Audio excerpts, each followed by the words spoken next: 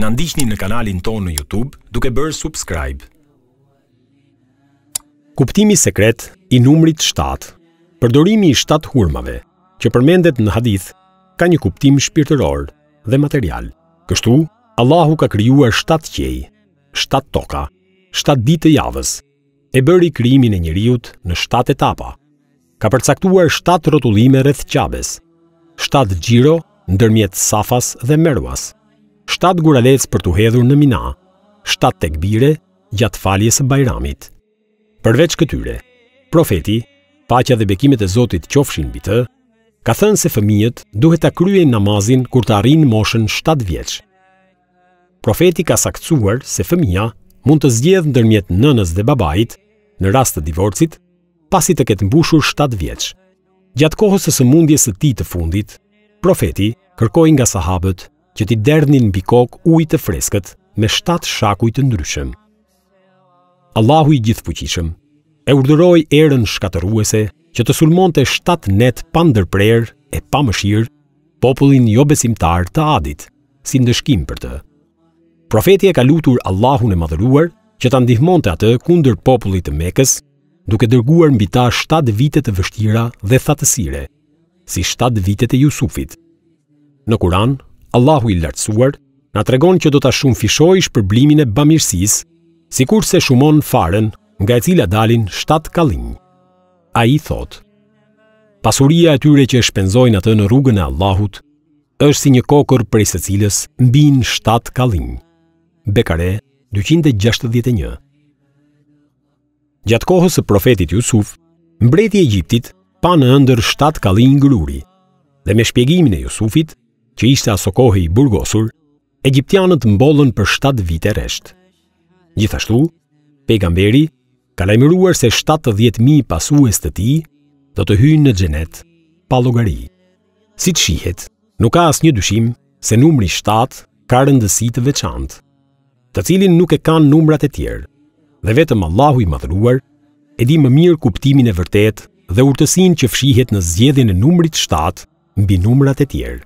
Hadithi i mësipërm, thotë se ngrënia e 7 hurmave të një zone të caktuar të Medines është mbrojtëse nga helmimet dhe magjitë, gjë e cila dëshmon për cilësitë e veçanta që ka kjo lloj hurme.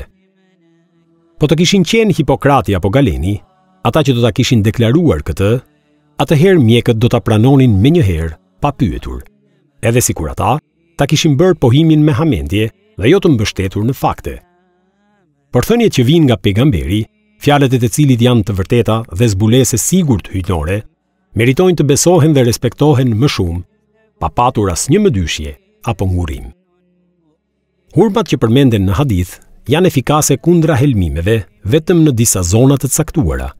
Megjithatë, ne duhet të pohojmë këtu se ka edhe një kusht tjetër. I sëmuri duhet të besojë se ilaçi do ta ndihmojë atë, në mënyrë që trupi ta pranojë dhe të përfitojë prej tij. Është fakt se ndonjëherë, vetëm duke besuar se ilaçi do ta japë efektin e tij, kjo ndihmon në kurimin e sëmundjes. Dhe këtë e kanë dëshmuar një mori njerëzish. Kur zemra e pranon se ilaçi është efikas, trupi fillon e ndien një rritje të fuqive dhe të nxehtësisë instinktive të tij. Faktorë këto që e ndihmojnë të nxjerrë jashtë substancat e panevojshme. Nga ana tjetër, ndodh që një ilaç i mirë të mos japë rezultate. pasi pacienti nuk beson se ai do të ketë rezultat. Rrjedhimisht, trupi nuk e pranon ilaçin dhe as nuk përfiton prej tij. Madje edhe Kurani, i cili është ilaçi më i mirë, kura më efikase si për këtë botë, edhe për tjetrën.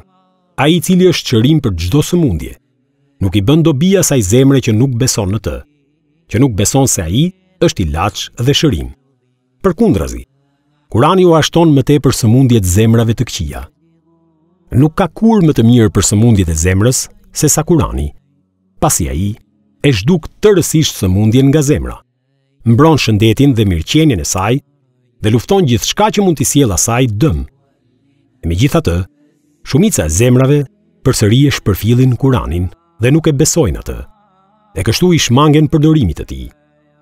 Njerëz të tillë mbështeten vetëm tek ilaçet materiale, duke u privuar nga të mirat e Kuranit.